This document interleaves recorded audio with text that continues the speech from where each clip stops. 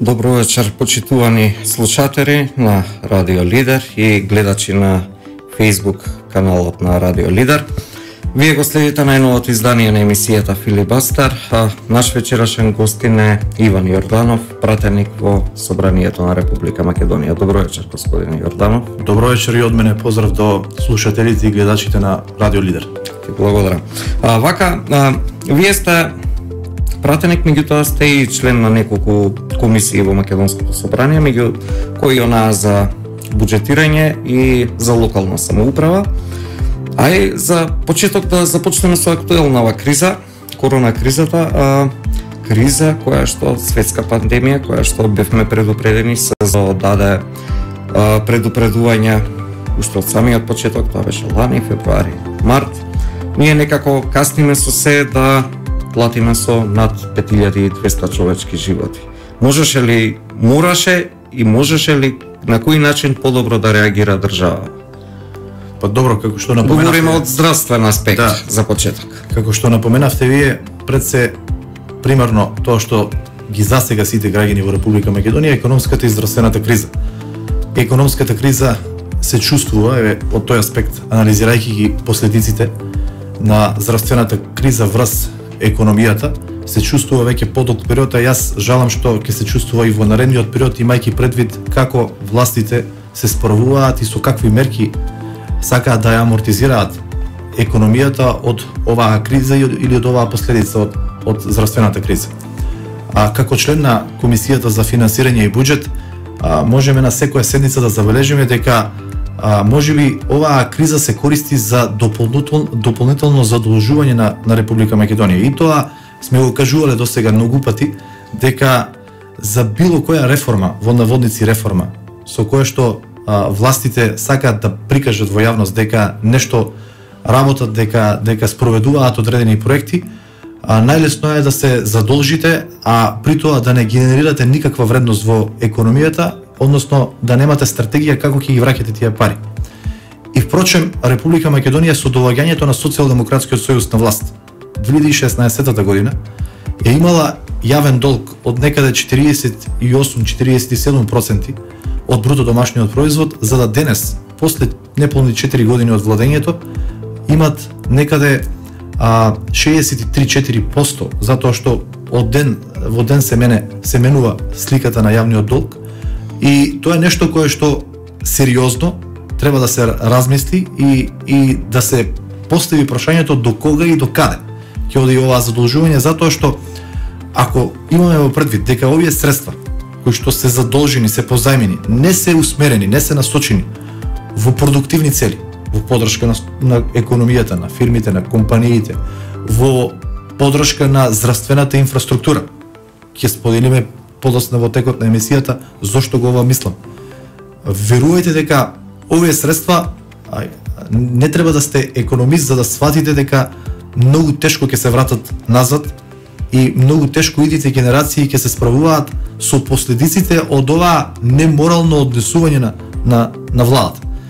Ако представниците на власта кога беа во опозиција најчесто милуваа во медиуми да да спомнат дека предходната власт ја носело државата во едно грчко сценарио, какво сценарио е сега ова нивното со 50% зголемен а, јавен долг од тоа што го го добиле во 2016 година со алиби дека владее здравствената криза. Да, точно е. Сите држави се задолжуваат, сите држави во овој момент вбризгуваат во економијата средства, но кај нас стопанството, односно фирмите, компаниите, не видоа реална подршка од, од државата и овие средства кои што беа позајмени, реално не беа насочени, не се насочуваат и ден денес а, оному кои што се најпотребни.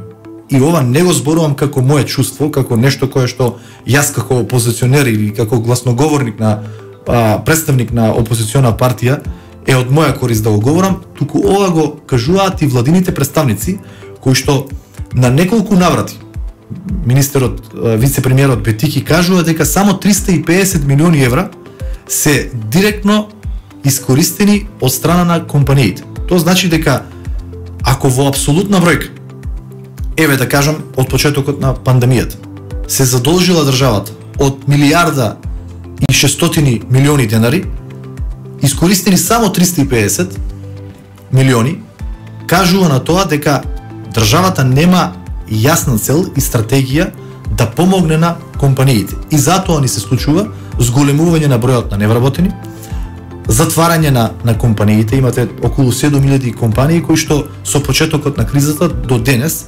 ставиле клуч, клучна на врата, односно направиле ликвидација во, во централен регистар на своите фирми и над 60.000 граѓани кои што се пријавиле во агенцијата за вработување како активни баратели. Поготово што јас доаѓам од источниот регион на Република Македонија, каде што процентот на зголемување на невработ, на невработеноста е уште поголем. Тоа е регион кој што посебно е погоден и заради структурата во индустријата и заради слични други прилики од економската криза и од здравствената криза. Сега во насока на одговорот ми беше прашањето до кога ќе продолжи ова задолжување. Вие не само актуелната состојба во буџетот, туку и во собраниска постапка во овој момент на Комисија за финансирање и буџет поминати се закони кои што чекаат наред за нови задолжувања. Секоја реформа е приврзана или прилепена со ново задолжување. Реформата во образованието за дигитализација на на, на образованието а, предвидува 25 милиони евра задолжување. Реформа некоја измислена во здрав... во во земјо... во земјоделие предвидува 46 милиона евра задолжување. Реформа во а, лок, а, локалните самоуправи а, не знам таму насочена за енергетско ефикасни а, фасади на, на институциите под локална самоуправа, исто така предвидува неколку милионски а, суми на задолжување, што само по себе кажува дека тенденцијата не е да застане овде, туку да се продлабочи и периодот предизборен, поготово сега затоа што не следуваат локални избори, да се искористи со задолжени пари, не со пари од она што го располага а, државата од буџетот, туку со фиктивни пари кои што утре треба да се враќа да се враќаат да се креира мнение дека државата функционира како во нај, во нај, најнормален ред, дека се е како што треба и дека граѓаните треба да бидат спокојни или дека се во сигурни раци. Има еден слоган кај нас во Штип, Штипјани треба да бидат во сигурни раци. А дали е актуелната состојба таква, чувствуваат граѓаните. Еве, не треба да сте аналитичар или или или да сте толку многу верзиран, прошетајте, искомуницирајте со граѓаните, ќе ви посведочат дека или некој во нивното семејство загубил работа, или дека има намалена плата заради короната, односно заради пандемијата, а дополнително на тоа трошоците за живот се зголемени. Ако овие средства кои што се позајмиле и кои што имале за цел да ја амортизираат кризата, биле насочени во права насока, процентот на невработеност ќе бил многу помал, процентот на нови невработени ќе бил многу помал, процентот на намалени плати ќе бил исто така многу помал и она која што граѓаните во овој момент го чувствуваат е зголемените трошоци за живот. Всушност, тука е интервенцијата која што државата треба да ја направи, да помогне на економијата, затоа што во една пазарна економија, во нормални услови, нормално е конкурентноста да е таа која што ја движи економијата и и по која што треба да функционира економијата. Но во услови на криза има исклучителни ситуации како што е ова, државата треба да ја насочи државната потрошувачка во насока на подршка на економијата, дали преку капитални инвестиции, дали преку зголемена јавна потрошувачка која што ја има како инструмент, дали преку субвенционирање на платина на компании, на, на, на грантови и на слично, таа е таа која што менаджира со економијата. За жал, во Република Македонија, еве сега дискутираме за економскиот аспект на кризата. Македонија најлошо се справува од цела Европа со економската криза. И тоа го кажуваат и статистиките и бројките. Ако земеме да анализираме пак здравствената криза. А, еве, ако јас грешам, коригирајте ме, дали во Република Македонија во овие неколку години власт на Социјалдемократскиот сојуз сте виделе подобрување на здравствената инфраструктура, на нови болници, нови здравствени капацитети, на не знам некоја реформа во здравството. Знаете, луѓето не се заболуваат само од корона. Стотици други болести со кои што се среќаваат се доведени во прашање давањето на здравствени услуги за тие болници, за, за тие болести затоа што менаџирањето во здравствените институции е на толку ниско ниво што процентот на смртност во Република Македонија не е само од корона, луѓето умираат од компликации и од други болести затоа што не ни функционира здравствениот систем. Затоа што не знаат овие власти да го изменеджираат здравствениот систем. Редици на луѓе секојдневно се среќаваат во нашите болници во пандемија кога треба да е редуцирано групирањето на луѓе. И затоа ние сме лидери во, во Европа и во светот, меѓу првите пет држави во светот по број на, на починети по глава на жител. И сето тоа, тоа не е доволно да министерот, државниот секретар, луѓето кои што се поврзани со здравството да понесат морална одговорност, напротив гледаме ги назначуваат за подпредседатели на партија, се се сликаат, се гордеат во наводници со со тоа што Македонија е лидер во во во светот по број на починати, да не зборуваме за имунизацијата, за набавката на вакцини. И дека преку набавката на вакцини се дрзнаа во еден ваков период да прават криминал. Па требаше ние да да обелодениме да обелодениме во во јавност дека и преку ова саката да да добијат финансиски бенефит и за да на крај еве она што е моментално најмногу актуелно изјавуваат дека се врши масовна имунизација. Еве сега јас прашувам каква е таа масовна имунизација кога во цела држава во, на само 10 места се врши вакцинација. Еве јас доаѓам од Штип. Штипе место каде што цел источен регион се вакцинираат луѓето. Знаете што се случува секој ден?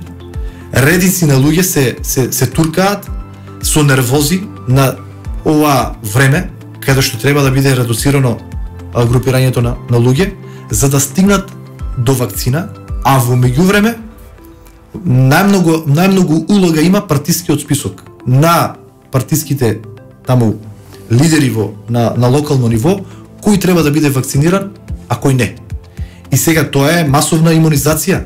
Па 10.000 вакцини не можат за месец дена да ги да ги употребат, да ги да ги вакцинираат луѓето, затоа што или немаат добра организација или пак намерно го пролонгираат периодот на вакцинација затоа што немаат доволно вакцини. И затоа Македонија не само што каснеше со со набавката на вакцини, туку и овој момент, ако сакате да направиме анализа и на земјите од регионот и на земјите од Европа и на земјите од светот е со најмал процент на имунизирано вакцинирано население. Али впечатокот кој што гласноговорниците на власта ќе го крираат во јавност, јавното мнение е дека се врши масовна имунизација. Каква е таа масовна имунизација кога дневно се вакцинираат по 3-4 илјади луѓе на ниво на Македонија? Со овој интензитет на вакцинирање, на нас ки ни требаат 3-4 години за да го вакцинираме населението. Една соседна Србија, со која што во минатите години не сме имале а, односно не сме сакале да се компарираме, затоа што секогаш сме гледале со по, повеќе развиените држави да се компарираме. Сега предничи. Со, многу од, од аспект на многу работи е пред нас. Е некаде 60-50% имунизирана кај нас процентот е е 3-4%, сега не ги знам точните бројки од, од, од последниот податок кој што го имам погледното на, на Министерството за здравство. Тоа само по себе говори дека и здравството, кое што треба во здравствена криза, да биде во главен фокус на владата и на властите, не функционира како што треба.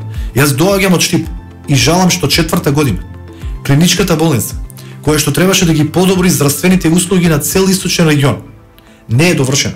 Да мислите, започната од 2016 година со проекција да биде завршена комплетно до 2020 година, ништо од тоа немат завршено. Се пролонгира со разно разни изговори, а она која што е дефиниција зошто не се завршува болницата е или алчност при тендерите кој ќе ја гради и кој ќе ја доврши изградбата на клиничката болница или неспособност. Овие се двете причини зошто клиничката болница во Штип која што треба да дава услуга на цел источен регион не е завршена.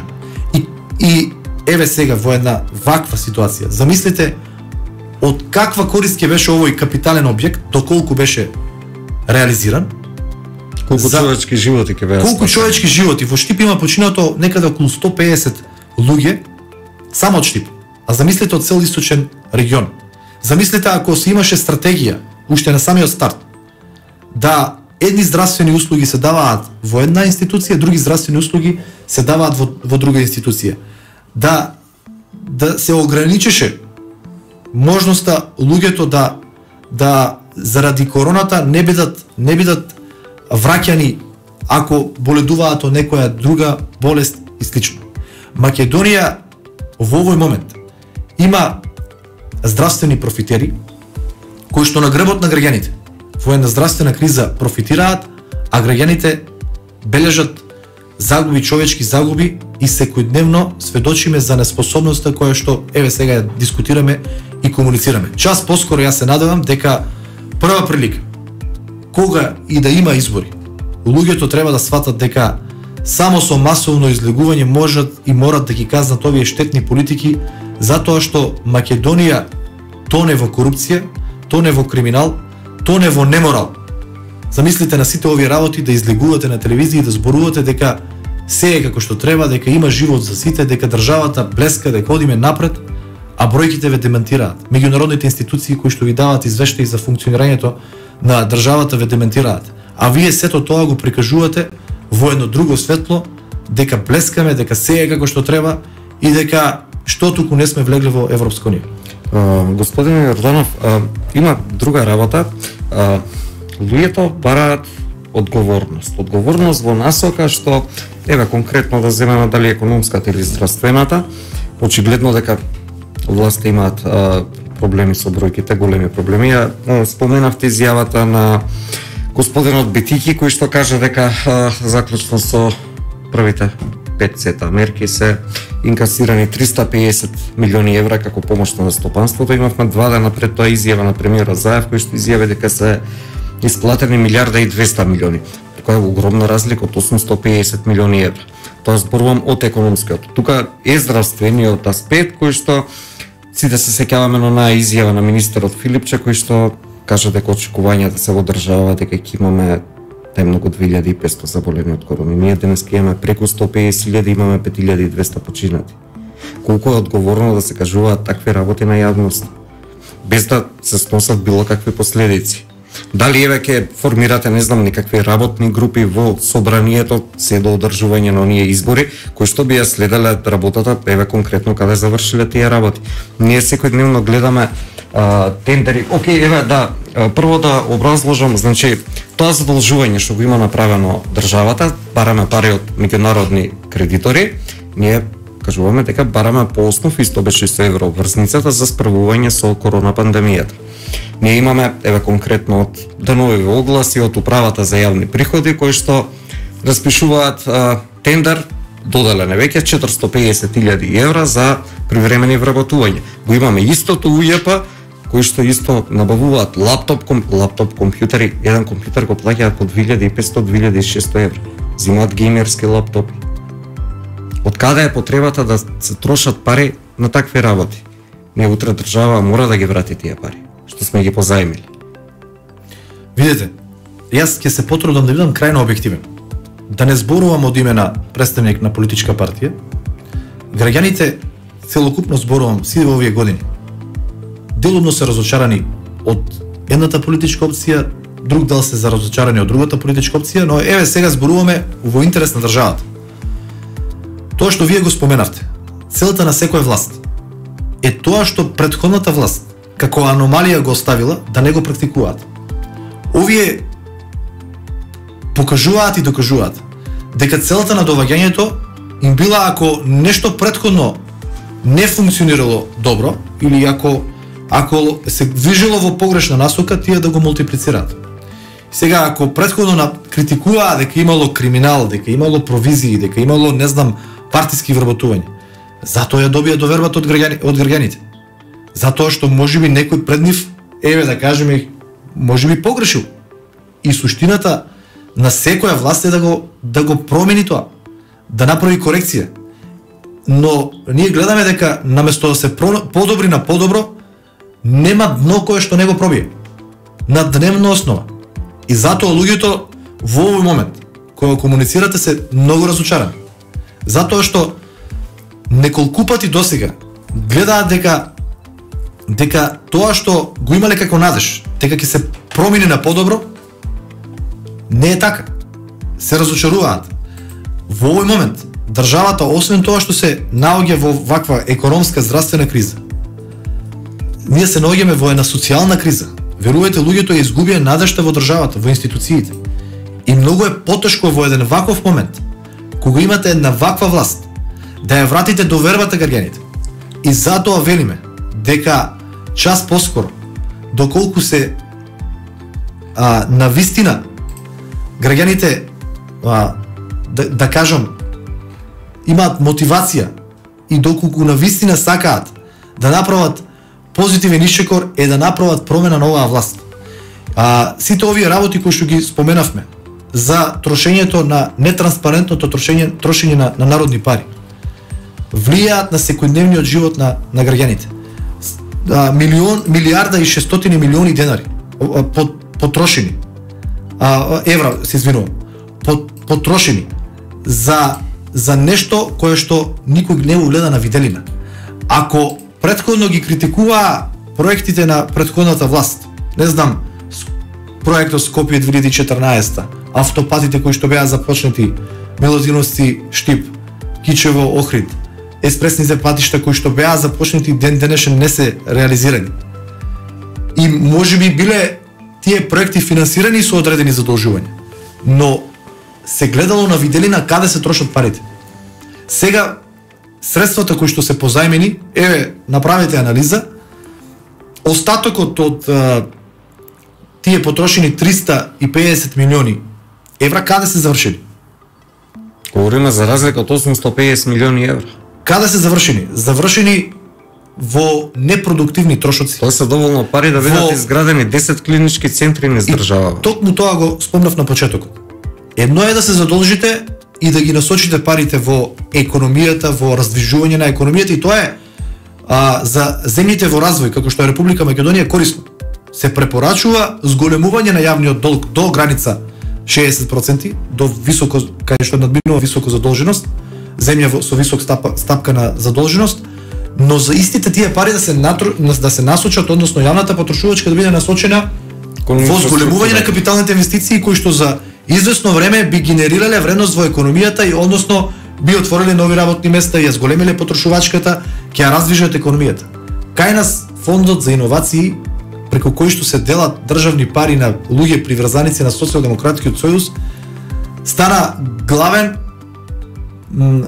како да кажам потрошувач на, на, на народните пари. Немаме ништо капитално оставено во овие 4 години. Еве јас доаѓам од источниот регион, повторно ќе кажам. Со сите аномалии во Штип изминатите години за време на предходната влада е отворен, направен инфраструктурно а, универзитет Гоце Делчев, кој што само по себе дава вредност во штипската економија. Е проектиран и, и во завршна фаза од предходната власт оставен автопатот Штип Мелодинаци. Е проектирана и започната во завршна фаза оставена клиничката болница.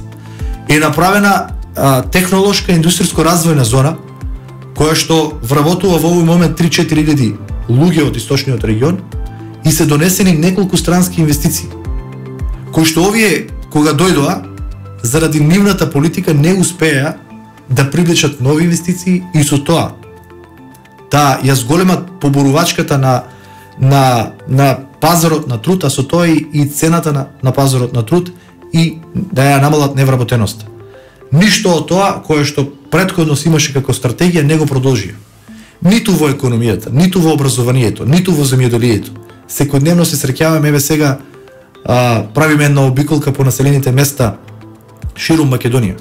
Верувајте дека земјоделците кои што се останати во овој момент да се занимаваат со земјоделие се толку многу разочарани што немаат излез каде да се обратат и, и, и како ќе продолжат понатаму.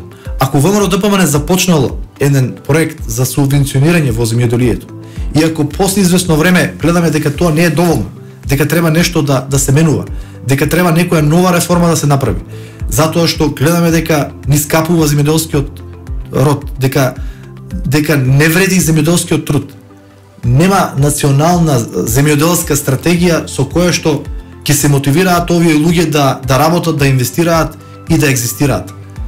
И еве сега ги анализираме сите сегменти од општественото живење, како функционира Македонија во овие 4 години. Нормално и претходно не е било а, ништо сјајно или или не е било а, онака како што сите посакуваме, но а, државата се движила во еден правец во кој што со тек на време сите ние сме се надевале дека дека ќе дојде до до подобро утро и дека дека ќе дојдат денови кога целиот тој влог и сите тие реформи ќе донесат одреден бенефит за сите граѓани.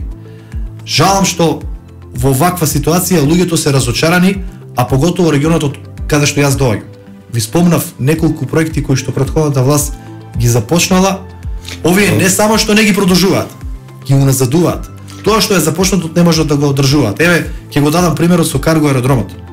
Штип беше град кој што беше ставен на мапата од претходната влада за развој преку разни проекти кои што ги ги споменав, а еве меѓу другите и карго аеродромот, кој што оваа власт доаѓајќи го го закучија, а еве сега комплетно тој проект е, е ништовен и не го виде светлото на денот проект кој што ќе значеше дополнителен развој на, на источниот регион, на земјоделието, на Штип како град. Првична инвестиција како инвестиција од 50 на милиони евра, значи многу за град како Штип, меѓутоа еве конкретно со карго аеродромот анализите беа дека со а, добро поврзување со околните градови, претежно источниот дел е, не знам, Кочани, Орис, Прилепима. Тутун, а, сите земјоделски производи, овошје, себи се целиот извоз би одел преку аеродромот во Штип.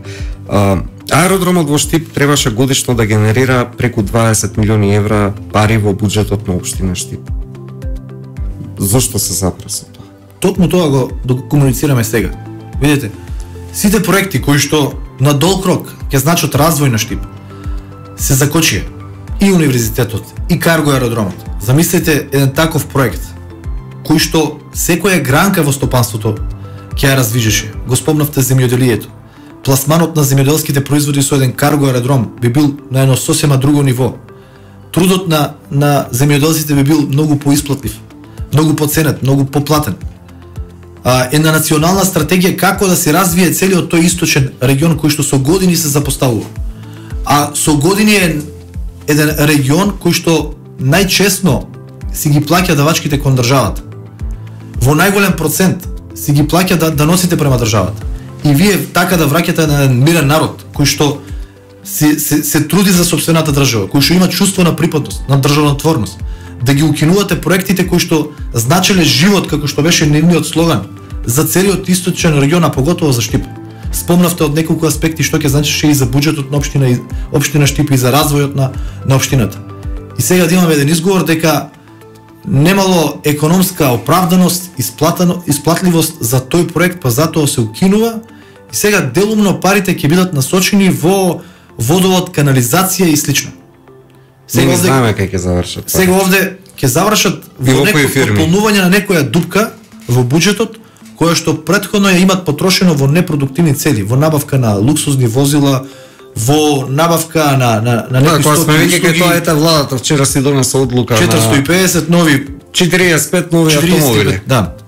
Значи тоа е еклатантен пример на нерационално трошење на народните пари во во време на на пандемија. Има... Замислете вие во некоја а, високо развиена западноевропска држава вака да функционираат властите, секојдневно не од притисок, оставка. Не од притисок од јавност, туку самоиницијативно ќе поднесуваат оставки доколку се обелодени, обелодени ваков скандал или или вакво неморално трошење на народните пари. Кај нас нема ден да не помине со со афери, со последните примери со издавањето на пасоши на на, на криминалци, светски криминалци кои што со македонски пасоши ги ги ги шетаат европските држави и ја девалвираат, дискредитираат Република Македонија. Имаме еден сеј во Јужна Америка.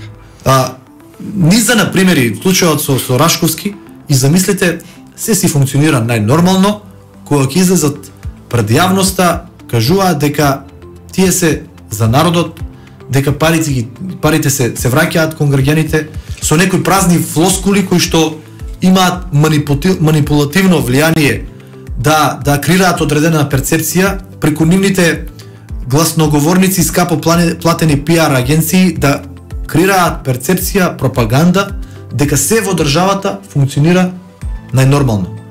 А обичниот граѓанин кој што еве секојдневно функционира како така, ги чувствува последиците. Па влезете во продавница и направете разлика колку која цена биле продуктите пред неколку години, која се денес.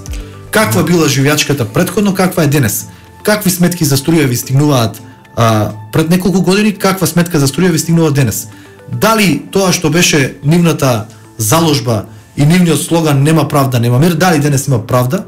Тоа го гледаме луѓе осудени на тероризам, што со срце и душа влегле во собрание за да ја одбранат честа на државата, за да, од, да го одбранат уставот на државата, осудени по, по, по 200 години затвор. Под турско робство сме биле такви пресуди немало. А од друга страна, представници на власт, кои што се фатини живи со криминал, со злоупотреба на службена должност, се судат, сега се, се брзат судските постапки во нивно време да се завршат, за некои таму членови да на закон казните со пониски казни од година време или условно казнети за да се затвори случајот. Но овој народ е мудар. Колку и да колку и да мислиме дека ја изгубил довербата, на следни избори сите овие скандали, афери кои што излегуваат на дневна основа ќе бидат казнати. Еве за тоа што сте вие член на комисијата за финансирање и буџет, прашање што сум го поставил до сега на неколку мои гости. Последниот буџет е висина од 4,2 милиарди евра. Највисокиот во времето на предходната власт на ВМРО ДПМН беше околу 3,5 милиарди, што е разлика од 700 милиони евра плюс секоја година. Поминаат 4 години. Потрошени се преку 16 милиарди евра плюс буџетите на локалната самоуправа, некаде да се доаѓа до цифра од 18-19 милиарди евра за 4 години. 20% таа сума да беше искористена за вложување во инфраструктурата, ние за 4 милиарди ги изградивме цела потребна инфраструктура во државата. На што се потрошени тие пари? Говориме за огромни суми. 18-19 милиарди евра. Е ова е клучното прашање кое што идната влада на Република Македонија ќе треба да направи една добра ревизија каде се потрошени парите. На оваа сума која што ја споменавте преку буџетите на, на, на Република Македонија и општинските буџети, ако ја додадете износот некаде околу 2 милиарди и 400 милиони евра е зголемен во кумулативен износ а, јавниот долг на Република Македонија од 2016 година до денес, замислите колку средства пари од граѓаните се Говориме потрошени, за 12 милиарди евра. Се потрошени, замислите со со со, со толкава количина на, на на средства. Вие можете да направите проект со кој што овој народ од 2 милиона ќе го направите или оваа држава ќе направите Швајцарија на Балканот. Ако правилно се насочат овие средства. Но повторно ќе кажам, имате на дневна основа скандали. Имате нетранспарентно работење, излегуваат информациите од опозицијата. Што се случува? Каде се трошат парите? Колку пари се потрошени за фонд за иновации? не знам за за некои други проекти, за набавка на на на на, не, на, на, на одредени работи кои што не, не носат дополнителна вредна вредност во економијата. И тоа е разликата која што еве јас во овој момент сакам да ја да ја пренесам. Ако некој претходно а креирал одреден буџет и тој буџет бил критикуван најповеќе дека е мегаломански, дека е многу преценет, дека е проектиран на нереална основа и дека ќе се исцрпат испумпат од стопанството, од економијата пари кои што се пари на граѓаните и дека не знам ќе се дополнително осиром, осиром, осиромаши народ, народот на, на Република Македонија, тогаш излегуваа на виделина проекти. Еве јас ги ги набројувам.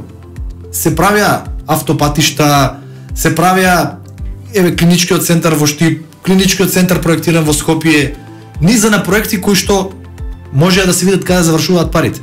Главното прашање кое што ние денес го поставуваме, каде се парите кои што 4 години се трошат од граѓаните и кој им дал право тоа да го прават? Кој им дал право да се коцкаат со на на македонските граѓани? Затоа што слободно можам да кажам дека ова е хазардерска влада, ова е казино влада. Се коцка секојдневно со иднината на на македонскиот народ. Кој ќе ги враќа тие пари? Како ќе ги враќа тие пари? Живеачката од ден на ден станува се потешка и потешка. Животот станува се поскап и поскап. Еве, кога сме веќе истока е економијава, а, почнувајќи корона кризава актуелна од лани од февруари месец, сега сме месец мај, веќе се за цела ланска година и за овој период веќе се потрошени од буџетите околу 6 милиарди евра. Криза остави преку 60.000 луѓе без работа.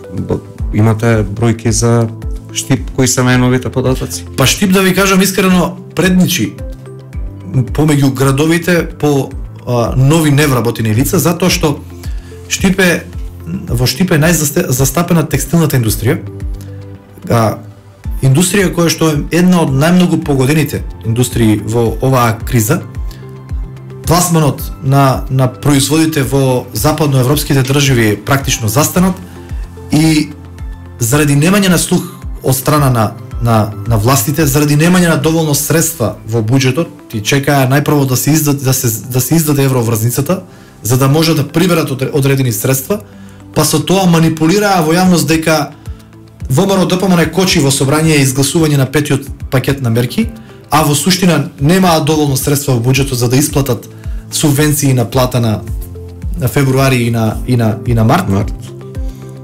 И практично тоа е една од причините зошто илјадници мои сограѓани, граѓани на општина Шти постанаа без работа или се активни баратели во агенцијата за вработување. Некаде околу 4000 луѓе според податоците од агенцијата за вработување се активни баратели во овој момент во агенцијата за вработување, а дупло повеќе е бројката на невработени лица кои што во овој момент екзистираат во општина Штип како последица од а, неодговорното работење на оваа власт. Ако парите кои што предмалку ги споменавме беа насочени за подршка на компаниите, ако се намалеше злоупотребата кој што одредени компании ја прават, земаат субвенција од државата, не ги исплаќаат платите на вработените И сето тоа се ограничеше, имаше одредена контрола и на крајот денот амандманот кој што ние го поднесовме за петиот сет на, на мерки беше средствата да не се префрлаат на компаниите, туку да се префрлаат директно на, на вработените. Затоа што имавме случаи кои што каде што луѓе кажуваа јасно примери дека одредени компании блиски до власта земале субвенции од државата, парите не ги насочиле за плати и исплати на плати на вработените. Луѓето ем без пари, ем државата а, ги потрошила позајмените скапи пари од од надвор. И на крајот од денот кој трпи? Сега замислете во Штип како еден од најмногу погодените градови од од економската криза, сите овие 5 4 5 илјади луѓе кои што останале без работа, затоа што немаат примање, немаат плата, имаат намалена потрош, намалена потрошувачка во штипската економија, индиректно ќе трпат и други дености, ќе се намали а, деноста на еве на такси превозот, ќе се намали обратот таму на средства на потрошувачка во во маркети, во слично во угостителски објекти, во хотелиерски услуги и слично. И сето тоа ќе допринесе да се да, да падне економијата во и дополнително да се да се зголемат невработ да се зголеми невработеноста и во другите дености, затоа што тоа е еден синџир. Поврзан синџир кој што е еден од друг, а, една од друга индустрија, една од друга гранка е, е зависна. И затоа велиме ние дека во овој момент последиците од неодговорното функционирање на власта ја, ја гледаме, ја чувствуваме. Но за некој период од сега уште повеќе ќе ја чувствуваме, затоа што ќе рефлектира и врз другите дености, и врз другите сектори кои што можеби во прв момент не биле погодени од од кризата, но со намалувањето на економската мок и економската потрошувачка на граѓаните кои што се засегнати во прв план од економската криза, ќе рефлектира и врз другите сектори.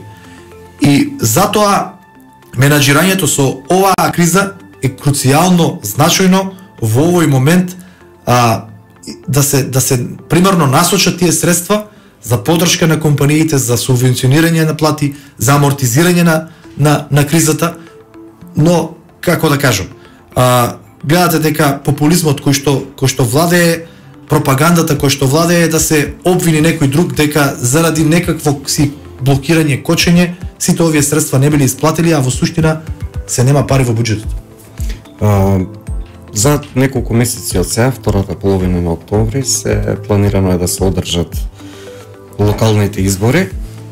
Кажете ми какви резултати очекувате како политичка партија и дали е можно да се очекува одржување на предвремени парламентарни, ако земеме еве во факт, да го земеме во предвид фактот што еве на 25 април се одржа еден масовен протест а, као поддршка на уставобранителите кои што се осудени за настаните од 27 април, меѓутоа имаше голема маса на народ, пред се млади луѓе. Дали веќе се, се а, појавува на некој начин се погласен и погласен станува револтот према власта. Па добро, тоа е еден барометар во која насока ќе се движат работиве во државата од политички аспект.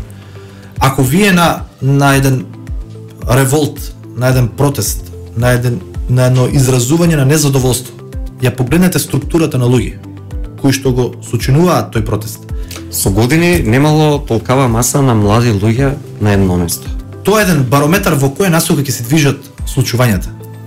А тоа што можеби пред неколку години се креираше една перцепција и сатанизација на ВМРО ДПМН дека ние како партија сме виновни за тоа што еве одредени работа работи во државата не функционираат на посакувано ниво и најголем дел од од младите луѓе сакаа да направат промена, сега гледаат дека дека сгрешиле. Дека а, буквално кажано се потребни промени. Промените излегуваат од младите луѓе. Јас сум еден од тие млади луѓе кои што како активен чинител во во политиката сакам да дадам свој допринос во во промените и во општеството и во државата, во политичкиот систем. А ги споменавте локалните избори. Локалните избори се од круцијално значење за иднината на државата затоа што граѓаните ќе имаат можност да направат промена, да направат, односно да ја казнат оваа власт дали ќе има предвремени парламентарни заедно со локалните, останува да видиме какви ќе бидат политичките случувања. Но известно е дека локалните избори ќе бидат тест за тоа во која насока сакаме да се движи државата. Ако сме незадоволни, а сме незадоволни, зборувам од граѓански аспект, масовното излегување на избори е начин за промена. Седењето дома и ведењето глава дека работите во државата не се добри не е решение. Ние како млади луѓе треба да се бориме за оваа држава. Треба да се бориме за еднината на оваа држава. И затоа овој пат мислам дека младите луѓе ќе ја донесат промената во, во Република Македонија, тоа ќе се случи на првите локални избори, кој што еве јас како како човек кој што доаѓа од Штип, ќе кажам дека Штип е созреан, созреан за промени не само заради сите овие скандали кои што ја демнеат Република Македонија, но еве објективно анализирајќи што доби Штип во изминативе 10 години и што доби сега од аспект на развој на градот. Немаат ништо капитално оставено, она кое што го ветуваа и со кое што дојдоа на власт и со кое што ги измамија луѓето, ги изманипулираа да направат промена пред 4 години имаше ни проекти мегаломански со кои што се сликаа, се промовираа, а сега ги нема никаде да ги спомнат. Ветуваа брда и долини од типот на брана на река Отиња, која што ја споменуваат на секој избори. Од 2016 на секој избори до сега, дали се тоа председателски, дали се парламентарни, дали се не знам какви, или ќе се презентира во јавност на 5 дена пред избори дека е одобрено дозвола за градба на брана на река Отиња, или пак одобрение за градба, зависно од тоа каков ефект ќе треба да се постигне, тоа е таа пропаганда и таа реторика. Што туку не сме почнале со изградба на брана. И 4 години проект кој што требаше да биде веќе во финална фаза затоа што според проектираното од 2018 година требаше да биде започнат, ден денешен немат направено експроприација на земјиште. Замислете А вчера го слушав министерот за транспорт и врски кој што доаѓа како претходен градоначалник на општина Штипи, гласноговорник дека ќе ја направи таа брана, што туку не почнала постапката за градежни активности за изградба на брана на Рекотиња. Замисли се со кое безобразие. Дополнително на тоа ветуваа гасификација. Прво, луѓе, не знам, а, луѓе, луѓето кои што се експерти, кои што ја знаат а, ја знаат состојбата, теренот, како е местоположбата на градот Штип. Утопија е да се ветува дека ќе се гасифицира секој дом во Штип во овој момент. Затоа што немаме подземен катастар Да, може да се гасифицира индустријските зони и тоа е проект на ВМРО ДПМН кој што беше во финална фаза. До сега требаше да биде пуштен во употреба. Но и таму е неспособноста да не само што не, не ги гасифицираат индустријските зони, и оние нови населби каде што има можност да се направи инфраструктура, мрежа за гасификација. Туку оде дрскоста да ветуваат дека ќе го гасифицираат секое домакинство четврта година поред. И ништо од тоа немат направено. Поветуваа, не знам, Аква парк е бил најголем во во Европа поветуваа термоизолациони фасади на сите стамбени згради во Штип. Не знам, низа на проекти кои што ги кои што ги ветија, сега ништо од тоа не споменуваат. Една шминка, еден популизам раскопаа неколку улици во централното градско подрачје колку да се види дека дека еве работат, дека се тие грижат, побрзаа тоа да го направат три месеци до избори. Четири години ги преспаа, делеа тендери на на фамилиарни фирми, ги делеа народните пари на таа втора генерација на социјалдемократскиот сојуз од приватизацијата, децата на на оние олигарци од приватизацијата, не децата на, на, на работниците, туку децата на олигарците, сега они се функционери во социјалдемократскиот сојуз, тоа е тај елитизам кој што го практикуваат и го продаваат. И сега истите тие луѓе се на функции високи таму во социјалдемократскиот сојуз и со пропаганда 3-4 месеци пред локални избори ќе копаат по централните градски подрачја, ништо претходно немаат сработено, ништо од тоа што го споменав, а што е пишено во изборна програма, еве отворете ги изборните програми на сите градоначалници во во Македонија, дали имат нешто проведено според Некаде процентално околу 15 до 20% да. е сумирано за Но, цела држава. сега ќе има од од владата нови задолжувања со пари од, од страна, ќе се убризгаат во општините, ќе се креира на перцепција дека еве тргнала работата и дека тие се грижат за за граѓаните. Не е таква ситуацијата. Тоа се нереални проекти кои што се сега се се спроведуваат за колку толку да се промени генералната перцепција кај луѓето дека ништо нема сработено. И затоа велам дека Штип ќе биде еден од градовите кај што ќе се случи промената, затоа што Штип е синоним за промени. Пркос кој што со, со години наназад во кој што во град во кој што пркосел на на на многу работи во кои што се случувале промените. Така да сметам дека и на овие локални избори ќе се ќе се случат тие промени. Значи очекувате победа. Да. Ви благодарам господине Јорданов за одвоеното време. Ви благодарам и на вас за поканата. А, почитувани слушатели, вие го следевте најновото издание на емисијата Филибастер.